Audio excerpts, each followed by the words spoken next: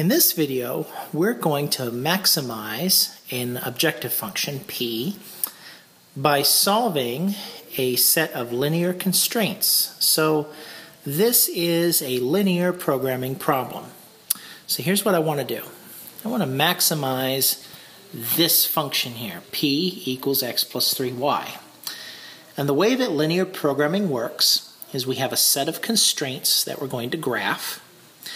And once we graph those constraints, we find the corner points, or otherwise known as the vertices. Then we plug all of the vertices into the objective function, and the largest value that we get is the maximum, and the smallest one that we get is the minimum. So, what we want to do today is take our time and see how we graph each of these constraints. First thing I like to do is I like to find all my vertical and horizontal lines. So in this problem, there are only two vertical lines.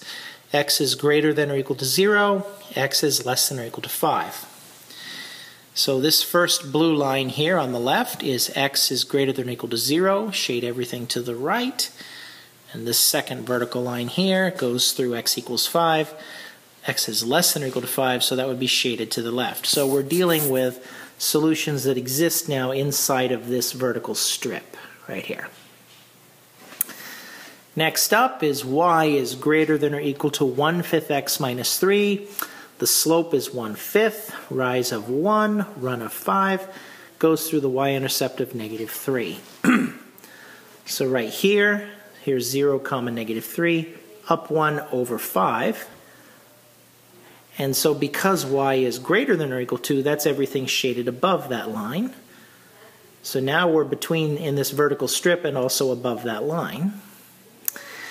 And then the last constraint is x is less than or equal to negative x plus 4. So negative 1 is the slope, 4 is the y-intercept.